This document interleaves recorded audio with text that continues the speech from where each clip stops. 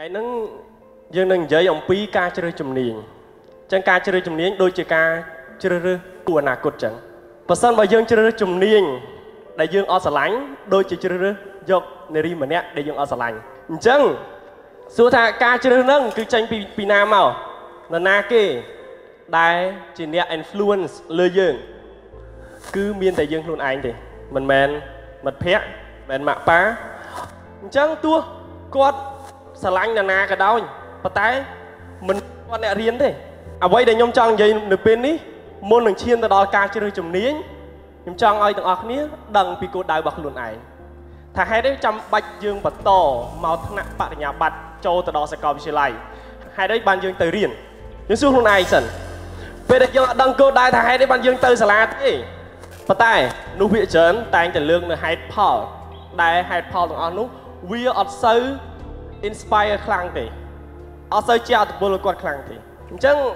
មនុស្សវាច្រើនថាខ្ញុំទៅរៀនគឺដើម្បីបានការងារអត់ដឹងការងារទាំងអស់ខ្ញុំចង់ដឹងឲ្យចង់បានការងារ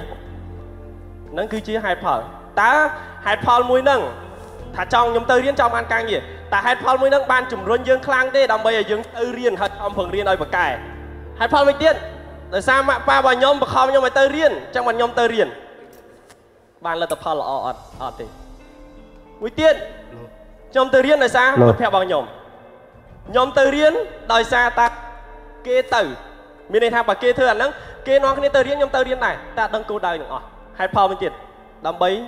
បានសញ្ញាបត្រ just a piece of paper you want to get some people they want to get two or three degrees អញ្ចឹងយើងទៅរៀនយើងចង់បានសញ្ញាបត្រឬក៏យ៉ាងណាអ្នកខ្លះគាត់ថាខ្ញុំចង់បានសញ្ញាបត្រតែសញ្ញាឃើញអ្វីដែលយើងអាចធ្វើបានការងារលទ្ធផល អត់មានធ្វើម៉េចបីជ្រើសជំនាញខ្ញុំសូមចែកលេខតិចការជ្រើសជំនាញគឺជារឿងដែលសំខាន់បើជ្រើសជំនាញខុសដូចជ្រើសប្រពន្ធខុសចឹងបើខ្លួនឯងជាប់អាហាររំកខ្លួនឯងត្រូវសិក្សាពីជំនាញមួយនឹងសិនហើយមួយទៀតការរៀនផងការធ្វើការផងអញ្ចឹងការរៀនផងធ្វើការផងវាគឺរឿងមួយដែលសំខាន់ដែររៀននិងធ្វើការឲ្យវាពាក់ព័ន្ធគ្នាខ្លួនឯងរៀន business ខ្លួនឯងធ្វើការ marketing ធ្វើការ accounting ធ្វើការ sale ណាជំនាញទាំងអស់ហ្នឹងដែលពាក់ព័ន្ធជាមួយ business គឺ ធ្វើឲ្យជំនាញរបស់យើងរីកចម្រើនអញ្ចឹងបានវិជាសាស្ត្រ CEO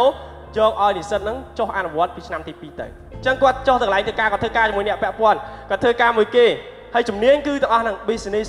ពាក់ព័ន្ធមួយ accounting management ជំនាញទាំងអស់ហ្នឹងគឺជាជំនាញដែលនៅ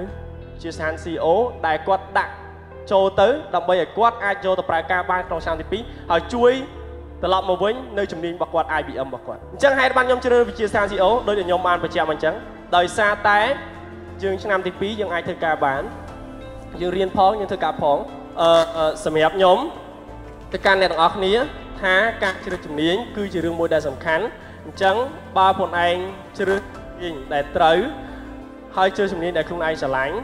ពិតប្រកបនោះខ្លួនឯងវាដោយមិនបោះបង់ទេទោះវាហត់យ៉ាងណាក៏ដោយហើយការរៀនគ្រប់ជំនាញគឺទាមទារឲ្យការការប្រឹងប្រែង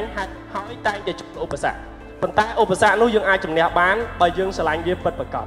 អញ្ចឹងបើបងណារៀនជំនាញមួយដែលបងឯងអត់ស្រឡាញ់តាមរយៈអីអញ្ចឹងថ្ងៃណាមួយឬក៏ពេលមួយបងនឹងដឹងថាបងឯងនេះទេហើយបងឯងនឹងបោះគិតពីខ្លួនឯងថាខ្លួនឯងប្រកែអីខ្លួនឯងមានទេពកោសលផ្នែកអីខ្លួនឯងធ្វើអីដែលល្អបានជាងគេ ចូលចិត្តការនិយាយខ្ញុំប្រកែអង់គ្លេស